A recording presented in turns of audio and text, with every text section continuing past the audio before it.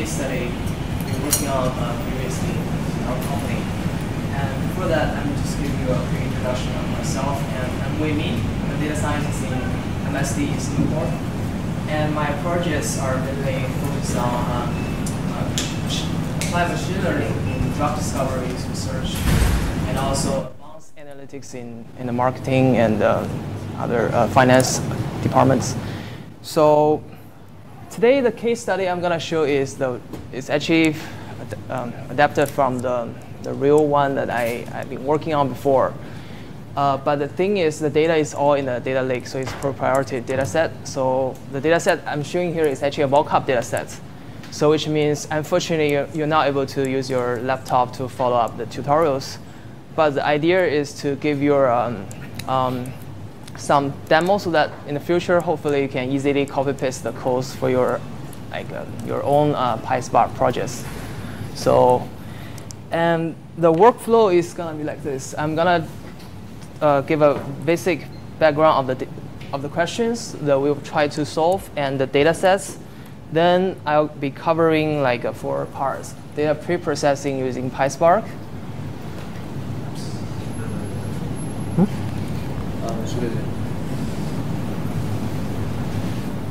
Okay. So the second part is using uh, ML um, library for, uh, especially random forest for um, binary classification problem. Then we try to find out how to use AUC score to actually test the model performance. And finally, we talk about one of the challenges in the data sets, which is very unbalanced, and how we can handle that in PySpark. Okay, so the question we're trying to answer is, what is the probability that a given customer will like a certain product? So the data sets actually have two parts, the products features and the customers features. So what we want to predict is the probability that this customer will like this product based on all the features. And um, so this is just an overview of the data sets, of the mockup data sets we, we are using here. So we, we see some of them are continuous variables, some of them are categoricals. And the feedback column is a column we need to predict, which is a binary um, uh, categor categorical column. Okay, so let's start it. Okay, the first step we do is load libraries. And we, as we can see, we have Spark, uh, ML libraries, we have even pandas, but may not, we may not really need pandas for this uh, tutorial. And then we have NumPy, uh, some other uh, libraries. So, okay, at this step, we're assuming that, okay, in a company, this is how it works. So you have a data, big data team that's help you to set up the platform. Then you have IT team, traditional IT team, who will help you pre prepare the data sets and give you whatever views or tables you need. And then you, as a data scientist, just to sit down here and write Python scripts to do processing, modeling, and show them the results to, to actually demo your POC. And we're assuming that we have all data sets ready, and that's why that's, that's how we can load our data sets into a PySpark data frame by using this line. And then we are selecting the features from the table that we will do further processing and modeling. So I'm actually naming all the features here, and then you just you drop simply drop the duplicates from the from the table. Then we start with a uh, zoom in. Okay. How? Okay, so is this, is this okay? Okay, good. Okay, so the first step is that we want to see what the actually the target column distribution looks like. So because as I mentioned, the target column is supposed to have two categories. One is negative and one is positive, right? And um, with a simple bar plot, we can see that it has actually several categories, neutral, negative, and positive. This is very real in, in, the, in, the, I mean, in the real world problem because we, first of all, the data set is very skewed. We, see, we have a lot of positive cases, but which is a good, which is a good indicator that people are liking our products. But on the other hand, we have too few negative cases, which will be hard to train our model because we do not have enough, enough information for the negative cases. And we have a, quite a lot of neutral cases. So one of the way we can do is that because the, the, the challenge is to differentiate the positive from the negative, or other cases. So why don't we just group the neutral and the negative together? So that's, that's what we, uh, exactly what we do here. So this few line illustrate the purpose here. So firstly, we do a group by count to find out what is a count for each category in the feedback column. Then this response will be a list of rows, and then we further take out the category and the counts and do um, a bar plot. Then that's what you see here. Then the next step is that because, like I mentioned, I want to group all the neutral and negative together so that eventually I have two categories. Of course, I will drop the non um, rows so that eventually we end up with two categories. And this is what we do. In, in PySpark, you will find out a lot of cases you have to use UDF, which is your, user-defined functions. And it's actually quite easy to do. So first of all, you have to um, define your own function, which is binarize. Um, after that, actually, there's a typo here. So after that, you pass to the function called UDF with a function you defined together with the output data type, which is string.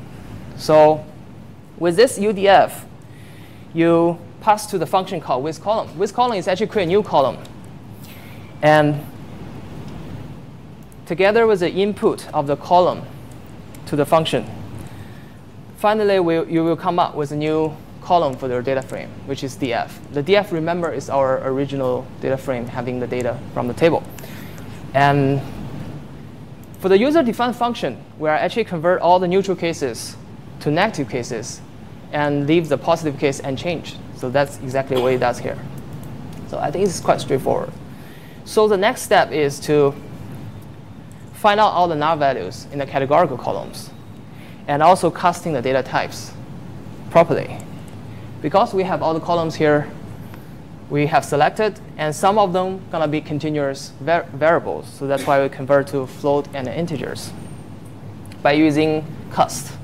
Select the column dot cast, then specify the type you want to cast to. And then for the remaining columns, actually, which are actually categorical columns.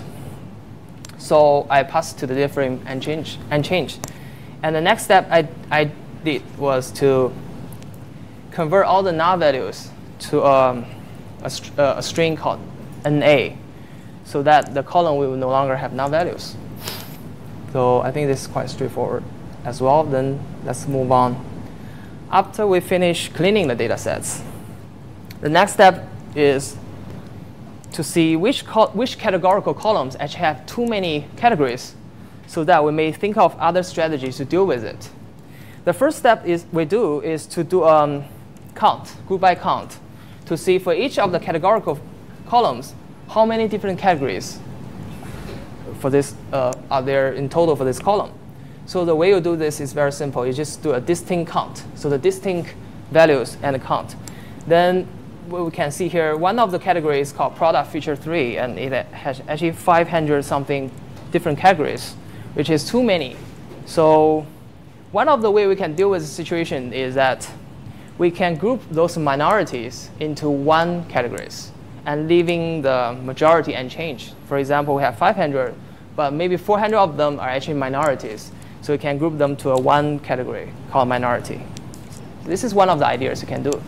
And the way we do it is, is like this. Again, we have to use UDF. But this part is a bit challenging because this UDF actually will accept two inputs columns. One is a category column, another one is a count. So like we did before, we have to do a group by count first. We group by this column and do a count.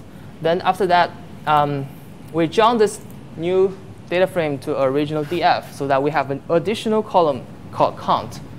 With each row, we have a number associated with a, with a category, represent the count of the category in the whole data sets. And after we join the, this column, we have to create our um, user-defined function. As I mentioned, this function will accept two input. The first one is original column, which is a product feature, and second one is a count. So based on the count, we can set the threshold, like 150, to filter out those that below the threshold, and then assign those values to a, a universal minority category a string. And after we create this user-defined function, we pass to UDF and specify the output type. Then we just, again, use the same function with column to create a new column called product feature 3 reduced. This will be the product feature 3, but reduced in terms of number of unique uh, categories. Then we pass the UDF to it and specify the input columns, which is product feature and count. After that, we will drop the original product feature, which have 500 category, uh, categories, as well as we drop the count columns, which is not useful. OK, so after, after we finish, the last step will be any questions here? Yeah, yeah, sure. How have you defined the stress? Sorry? The stress. Why it is 1,000? Oh, okay, that's the question. 1,000. Uh, yeah, yeah, because, uh, OK, the story is that I did another plot to see the, the, um, for each of the categories, how many counts associated with different categories. Then I found out that 150 is a good threshold so that I can filter out around roughly around 400 cat, uh, categories. But it's just because the data sets in the cloud, I couldn't run it here, so I couldn't actually show you. But what you have to do is do, um, do a bar plot for each of the categories to see the counts. And if you feel, feel like 150 is good enough to reduce uh, enough categories, then yes, you just use that. What is the purpose? The purpose oh, okay. is to uh, collapse it to some amount of categories. For example, you, I want to have only eight categories in the result. Oh, no, no. Or it is a yeah, percentage yeah. over all the collection. This is actually the threshold, the count of the category, uh, below which the count of the category will be considered as a minority. No, this is what I understood. I mean, uh, the purpose of it, to reduce oh. amount of categories, correct? Yes, because like we have 500 different categories, right? Some of them may only appear three times, five times, 10 times. For all of these, I group them together to form a minority category. Okay, just answer my question. What is the amount of categories that you have in the result? 500 to in total. Like in total 100, but after this transformation, how many? Uh, it's around uh, 100 something. 100 something. Yeah, 100 something. It's not 10, it's not 12, and it is not, okay, it's 100. Yes, 100 something, because I feel like I don't want to have too many. 200 is too many for me. I just use 100 something. But I didn't show here. Yeah, that's a good point. So what this will achieve is that after you run this function, this original column called product feature 3 will only have like 100 something unique category left. Yep. I think maybe the question is what's the point of having so many categories? Oh, okay. Yeah, that's a good question because. Um, not a problem why it is so many categories. I mean, we don't want to have 500 categories. Yeah. yeah. But how many categories do we want to have? If you increase the stress score, for example, 350, it will be something like 70. Yeah. If you increase it for 800, it will be probably 20. What is the optimal amount of categories that we want to okay. have and how to choose yeah. the strategy properly? Actually, two of you have two different concerns, both of which are reasonable. So for your concern is that how many categories should we have, at a, uh, which is a reasonable amount? This will, you know, on one hand, depends on your data. Because if you find out that the top 100 category actually have quite a lot, and the 101 category onwards will like sub substantially below a threshold. This differentiation, if, if it is very obvious, so probably 100 will be a good threshold, right? So it's all depending on your data. So you can plot it and see, okay, this, maybe this onwards will all become a minority. It looks good on the data sets and distribution. So then that is how I set the threshold. Or if you think 100 is a is a, the maximum number of categories you want to have for random forest. Because random forest, sometimes if you have too many, it doesn't make sense to train a model. Then in that way, which is his concern, then you can use 100 as a threshold. So it's all up to what your concern is and how your data looks like. Okay. So the next part, which is the final part of the data processing, is called one-hot encoding. So how many of you are actually familiar with one-hot encoding and know what it does? So, okay, so maybe I explain a little bit about one-hot encoding. Because for all category, cat, uh, categorical features, right, we cannot just push to the model to let the model train on. Because eventually the input data for the model is a matrix of numerical values. So in order to convert the categorical columns, like um, the cities or your sex or gender, which are categorical values, you have to convert into a number. And there are two ways you can convert a categorical value to a number. One way is just to use integer to represent. Like, uh, like um, Singapore will be one, like uh, New York will be two, and etc. This is one of the way. But this way is not the best way because there's no ordering relationship inside. Like New York is not two times of Singapore.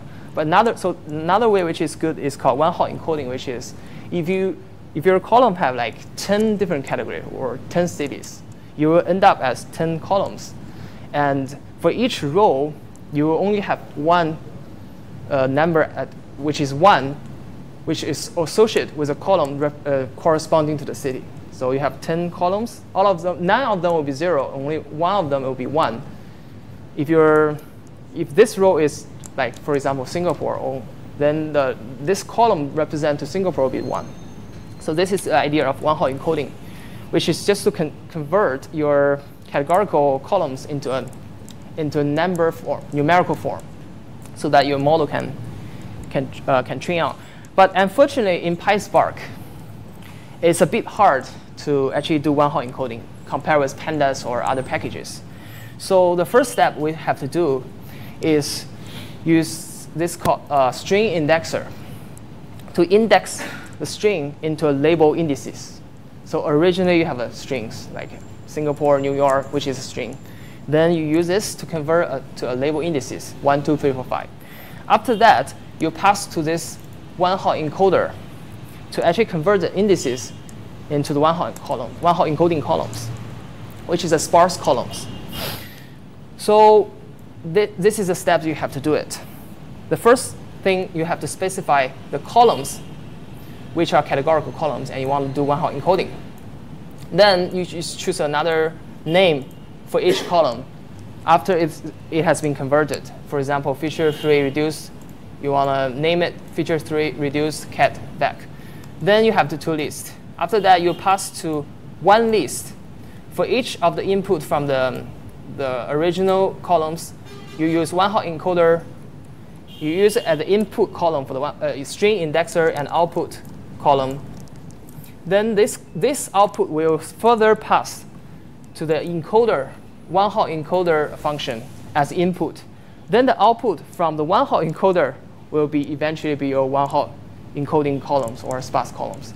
So this is very tedious, I know, but there's no other way we can do this in PySpark. If you know, you just you can just let me know.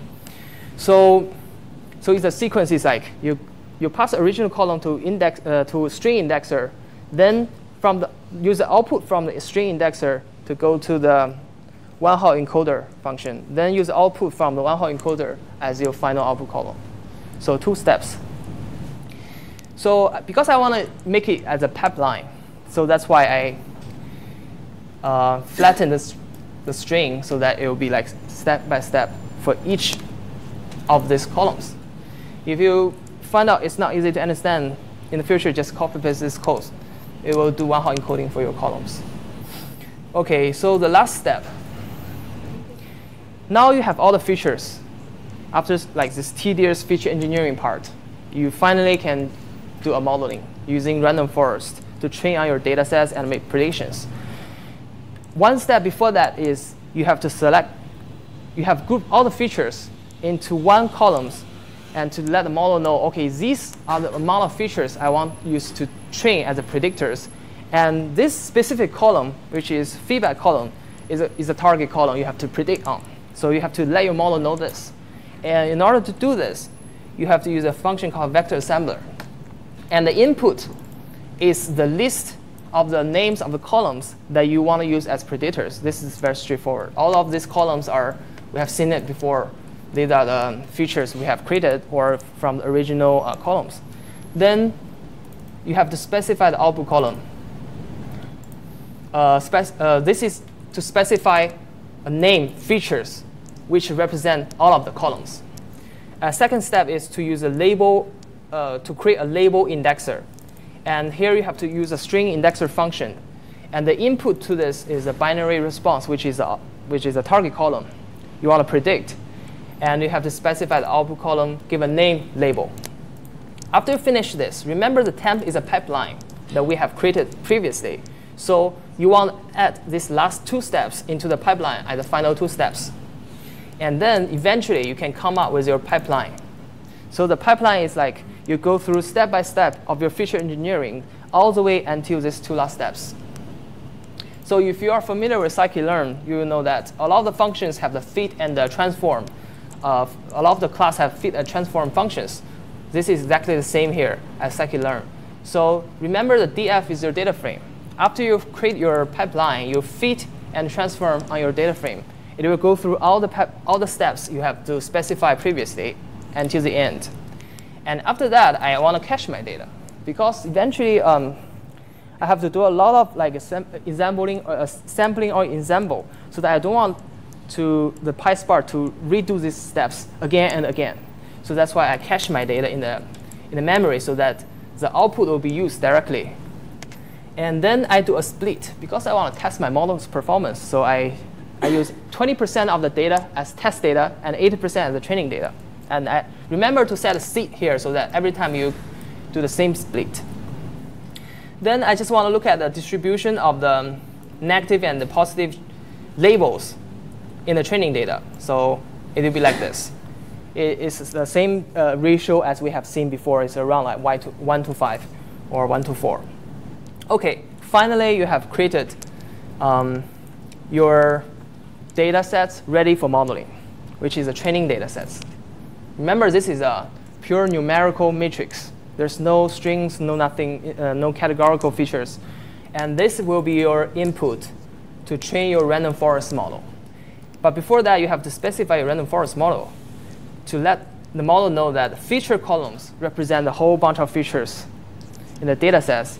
And the column called label is uh, the target column you want to predict. And there's one or there's a few uh, parameters for random forest. One of them is the number of trees, which you have to set, specify. After that, you use the same way fit on your training data. Then you predict, which is called transform in this package on the test data sets. So the transformed will be a list of predictions for your test data sets. So until here, we have finished processing and modeling part. So any questions about that? So now you want to now you want you would like to see the performance of your model on the test data sets. Because this is binary classification problem, one of the way you can test your model is using AUC score, which is area under the curve.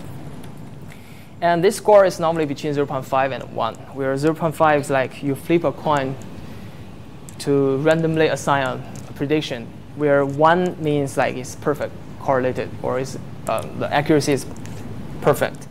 So this is what um, we can easily do this by import this uh, metrics from MLlib evaluation called um, binary classifier metrics. Then remember this transformed is actually a list of predictions we have we have got from the random forest on the test data sets. And we select the specific probabilities and the labels, the, which is a ground truth. Then we, um, we get all the labels and the probabilities we pass to the metrics, and it will give a score, which is 0.64, which is not very good. But there could be other reasons, like uh, the data set is not very good or model is not very good. But it's still OK. La. I mean, compared with um, 0.5, it improves by 0.14. So, and if you want to visualize your AUC score, you can also easily do this, which is the same way as you can do in scikit-learn package, just to um, use, um, use your matplotlib uh, plotting features, you can you can plot the AUC score, which is like this. So these areas represent the information or the advantage your model have gained over this area, which is random guessing. So this this area means like 0.14 something. Yeah. So okay, after you have uh, finished this step, we have come to the last step of this tutorial, which is to which is to deal with um, unbalanced problem. Because remember, the, from the beginning, we found the data set is very unbalanced. We have much more positive cases compared with negative cases. Unfortunately, we cannot do much more uh, in the random forest package on PySpark because we do not have the class balance uh, implemented in the random forest. As far as I know, I don't, I don't think they have this. So unlike other packages like scikit-learn, which is more robust, and you can do a lot of uh, um, lot of features. So what we do can do here is um, manually do a downsampling or sub, uh, upsampling.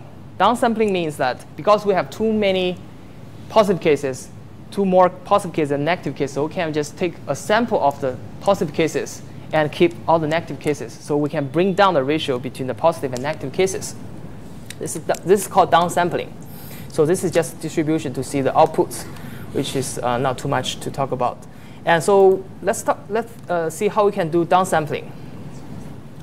First, we specify the, the ratio of the positive cases to negative, net negative cases because we want to bring down the ratio. So we can specify the ratio is 2, which means the number of positive cases to the number of negative cases is 2, point, uh, two, 2 to 1.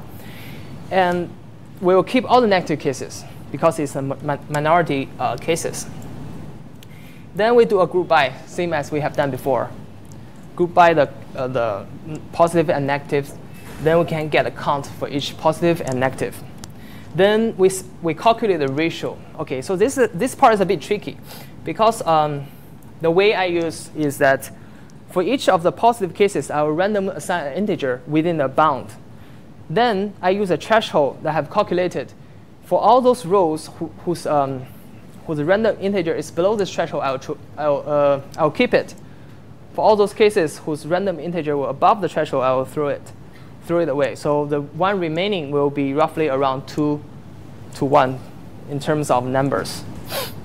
And this part will, will help you take care of this. Then eventually your DF sub subsample data will be a subset of your training data with a reduced amount of positive cases.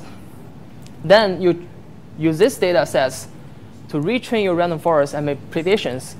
And you realize, OK, it's improved a little bit, which is 0.646. So by using this way, you can increase your results a little bit. And another way is a, a bit trickier way that you can do, even do an example of downsamplings. Because every time you do a downsampling from the positive cases, you waste quite amount of positive cases. So what you can do is you do like multiple times of downsampling. Every time you take a different subset from the positive cases. Then you do 10 times and take, um, then you will get 10 predictions. From those 10 predictions, you take the average, which is ensemble. And hopefully this will be better than one time of downsampling. Let's see how it works. This code is a bit more uh, I mean, compl complicated, so I'm not going to go through this. But the basic idea is you, you have done like 10 times of downsampling. For each time, you get a prediction, and you average them. And let's see what the result, results look like. So the first time without downsampling is 0.65, and then it increase, increase, increase, increase. So ensemble actually helps a bit compared with the previous um, downsampling one time. So yeah, so these are the two strategies that you can you can actually uh, play with uh, when you have an unbalanced data sets. But there could be other ways you can do this, but there's just like some possible ways that can help you do this. So like I said, you don't have to fully understand like all of this, how does this work. You just copy paste and it will do the job for you, hopefully for your future PySpark projects. Um, actually, based on my experience working with PySpark, it's not very easy compared with, it's much more hard um, like much harder to compare with using Py pandas and uh, other packages. But why do you still need PySpark? Well, one of the obvious reasons is that you have too much data. You cannot fit into your laptop, or you need a cluster to do this. So at this moment, I think the PySpark documentation is quite limited, and also uh, the package is not very, it's not a lot. There's a very few packages, and random forest only in the basic uh, implement with its basic features. But so that's why we have to do a lot of extra um, work in order to enhance performances. But hopefully this can give you an idea of what can you do with PySpark. So yeah, with that I finish the tutorial, and if you have any questions, you can ask. Mm -hmm. Which version Oh, which version? Sorry, uh, actually I can't remember. Yeah. 1.6. It should be uh, around that because the last time the update was last year because that is when I finished the project. Sorry, I, I can't remember. Yeah, but it's it's not the latest one. Yeah. Then it should be 1.6, right? And I increase Yeah, it should be 0.6. But at that time, there's no like class balance for random forest, and you cannot even get feature importance out of random forest models, unlike pandas. Um, yeah. So I think yeah, just 40 minutes. Yeah. Okay. Your random sample downsizing, right? Yeah, downsizing. If I have negative 2 and I have 10 positive, double it, I just random sample from here, 4. Uh, Why do you have to go through that long step? Oh, yeah, because you have to random sample from your positive cases, right? So how, how do you random sample? You must, because there's no function that you can help. You just call it. That's why I'm saying, keep saying like PySpark is not very easy. Uh, for a lot of things, yeah. So there's no, not even a random sample feature function. A lot of function you're missing. So that's why when you are actually working with a PySpark project, you have headache along the way. So that's why hopefully this will give you life easier. Yeah. I have one question.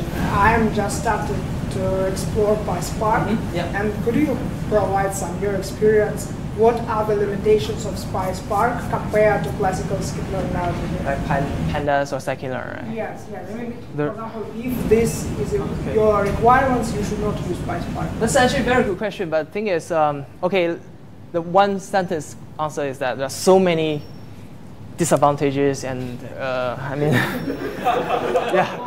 I'm not saying uh, I'm not saying PySpark is not good. It's a open source project, so and how say uh, you cannot compare with pandas because pandas and the scikit-learn are so well developed, right? If you compare with that, you see, oh, PySpark is like even not even 10% as good as that one. So, but for some cases, you have no other ways but you have to use PySpark. Like I mentioned, you have too much data, right? You cannot fit on your laptop unless you have a very large HPC, which have a lot of RAM. You have to come to a cluster, and you only know Python, for example. You don't know uh, Scala, so you have to use PySpark. And I don't think the Py, uh, R is as good as PySpark, so you can expect a lot more disadvantage if you use Py, uh, uh, R. So that's the reason I finally end up with PySpark. But after I finish all, all of these obstacles, I feel like uh, even though it's very hard to work with, but if you can understand the logic, because it's very different from, from other uh, packages, like the lazy evaluation thing, right? So you have to understand some basic uh, building blocks of Spark. Then you can uh, step by step work your way to finish your projects. And one of the ways to use other people's code. So this is, this is very important. Like even a si- like simple step, you, you have to think of, uh, you have to use a lot of ways to uh, work around to, to accomplish that. Where you, in pandas or other, you just use one line, you can finish the job. So that's why you have a lot of limitations. And but be careful if you are eventually want to give up and convert to pandas data frame. That's gonna be another huge issue because you'll blow up, you'll blow up your whole memory. Yeah. So because sometimes I just wanna, I don't wanna spend much any more time. I just convert to pandas data frame. Then I receive an email from my big data team. Hey, you are actually cause the whole cluster to stop because you're using all the RAM. So that's the thing, right? Because your data set is very large, you cannot even use one data frame to store it. I mean the, pan, the pandas data frame. So there's no way you can do that. But for small data sets, you can convert to pandas data frame, then do a quick, a quick calculations, which will make your life much easier. But make sure the data frame is very small. So yeah, the one of yeah. How large is large? Sorry. How large is large? Yeah. It depends on your RAM because this you have to negotiate and work closely with your big data team. It's all up to them. It's like because it's not just you. There's many other projects who are sharing these queues or resources, right? So no- it's hard to say. Yeah, for one million rows or it doesn't doesn't matter on the rows. It matter on the size of the data, like the gigabytes or terabytes. So it depends on how much data set you have. If you only have like 10 gigabytes, there's absolutely no reason to use this. Don't get in trouble. then Yeah. gigabyte is still small. If it's one gigabyte, now the like modern laptop have like 16 gigabytes, right? Why, why not just use a laptop? Why, why you like want to spend all the trouble using this big data platform? So it's always you, the first question you have to ask yourself, why do I need a big data platform? right? It's not because everybody using it, everybody talking about it, you have to use it. That's not a good way. So think about your challenge. Think about your data sets. Do you really need it? Then you have to, then you, then you can come to this uh, platform. Okay. How big was the size of your data? I'm not sure if you mentioned that. How big was the size of your data? Uh, it's around 100 gigabytes for, for this particular task. And how long did it take to run your full notebook if you want? Uh, it's actually quite long. yeah, because the resources is very limited. It's only for POC, right? So they, they don't give you too much, uh, too many executors or like, um, so you, it's actually not very fast. so it takes a few hours to actually run. Sometimes can take a few hours, yeah, or even not finish. So it depends on your resources. This is very varies a lot, so it, it's, it's hard to say. Yeah, if you Tuning the two parameters and tuning the two parameters. so you could Oh. effectively tune Yeah, about yeah, 10 yeah. So the parameters, one of the thing. 200 is already quite a lot. Sometimes have to use 50 for the number of trees because you cannot finish. So, um, so that's why one of the um, pa- parameter you have to be careful is the number of trees you want to run, run forest. The more trees, the longer time it will take. But would it be appropriate to like the number of trees and the threshold Actually, respect to the I don't think it matters much, at least for my data sets. Because random forest, the good thing, or the only good thing we use random forest is because it's easy and no much parameter to tune compared with XGBoost or other models. So you just have to specify 100 trees, which should be enough for, for many cases. The maximum ha- 1,000 trees, but I don't think it's necessary. Use, Consideration was actually the length of time it took to run this. Uh, yeah, it's a, one of the consideration, of course. Yeah, like I said, the 200 is it's already maximum that I, I, I can afford. Otherwise, it's not gonna finish within one day. Yeah. Okay. Random forest, right, for each tree, uh, you assign a random subset of uh, samples and, and a subset of a random subset of features, right? Sorry. For each tree. No, I mean the downsampling is only. Okay, sorry. Uh, the thing is, when I was doing downsampling, right? Every time I get a subset of the data sets, right, I run one random forest. Then I get another subset and run run random forest. So one subset. No, they are not using they are not using No, okay. You are saying the, the algorithm itself, right? No, no, they're doing um, uh, bootstrap sampling out of your data sets. Then there gonna, there's gonna be some samples which is called all, out-of-bag uh, samples. For every time you, You set the, uh, like, is there any parameters I don't think you can set any more parameters. samples for each- for each tree? No, no, the, the random forest package is very basic. Um, if you go to the random forest uh, pack, uh, documentation of the PySpark, you'll see that. Uh, I don't think you can set that. Yeah, I don't think because it's very basic. You only can set the number of trees, total number of trees, and number uh, of columns you you, you use to subsam uh, sample from your total columns. So beyond that, I, yeah, you can check the random forest documentation, but I don't think yeah you can do that. Okay, so I think that's yeah, Eugene. So at the end of your 0.64, right? Yeah. Of course, that took you a lot of time to, to achieve. What were some of the key steps that helped you improve your performance the most? Um, yeah, yeah, that's a good question. Okay, if your business user or your stakeholders actually very curious about the accuracy, they wanted you to push it a, a little bit, then you really have to think about what can be the ways to actually increase it because this is not very high, very high. Um, okay, so one of the ways you can get more features. Like I mentioned, in the beginning, right? We what the feature we have is like product feature and customer feature. Of course, this is a demo, but the thing is, this can like um, be similar to many real world cases. So from the product feature, you can get even more features, right? So and the customers, for example, we only have the basic, the region, the type, the, the, the job type, and the, the gender of the customer. We can even get more features, like how frequently the customer come to our uh, to buy our products, and how many years this customer has been a loyal customer to our uh, to our company. And even beyond that, we can even do a, a lot of feature engineering. Um, like we can do a group by, for example, group by this customer uh, to count how many products this guy totally buy, or how many times they give a positive feedback out of negative feedback. Those kind of additional extra features will definitely increase your model's accuracy. But unfortunately, it's very hard to even create one features in PySpark, so I don't want to go into that area. yeah, so I always try to avoid those kind of sophisticated things to do in PySpark. But of course, that will definitely increase your accuracy a lot. Yeah. So I think with that uh, time, yeah, sure. Uh, in PySpark, I think there is ML and MLlib, right? Yeah. Which one are you using? Uh, actually, okay, I, am not very familiar with what's the difference, but the thing is, I'm, I'm using ML, yeah. But I'm also using some other like um, uh, tools from ML, uh. For example, the, for example, this one, um, the AUC score, yeah, this one. So the model is from ML and feature engineering. But honestly, I don't, I don't know the difference. I, I think they're quite similar. No, no, I think they should be very similar. I, I, can, I can't really tell the difference between those two, yeah. So yeah, I think that's all okay for my part. Any, any questions? okay, yeah, sure. Do you have trouble in uh, saving and loading the model? Sorry? Uh, do you have trouble in saving and loading? Survey alone. Survey. Saving and loading. Saving, saving. Oh, okay. Um, no, I don't think so. Um, so okay, this is a, for some other projects, right? For example, you have a cluster of 100 machines to run your random forest.